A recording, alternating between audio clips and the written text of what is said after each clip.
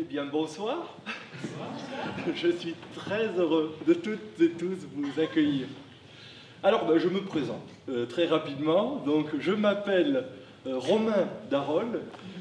Euh, toutefois, ce n'est pas chez les Romains que nous allons nous rendre ensemble, mais bien chez leurs collègues antiques, les Grecs. Premier épisode. Allons à l'essentiel, c'est que juste avant de partir en Épire, Thésée a confié euh, son épouse à son fils Hippolyte. Cet heureux temps n'est plus.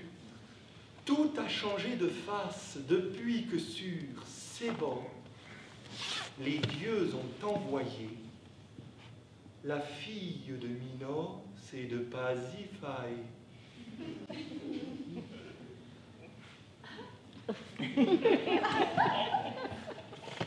Qu'est-ce que c'est ça C'est la fille de Minos et de Pasiphae. Bon, on comprend qu'il s'agit de, de Phèdre, rappelez-vous, mais il s'agit aussi d'un alexandrin que d'aucuns considèrent comme le plus bel alexandrin de la littérature française. Et non, qui l'eût cru? J'avais une Tout ce que j'ai souffert, mes craintes, mes transports, la fureur de mes feux, l'horreur de mes remords et d'un cruel refus.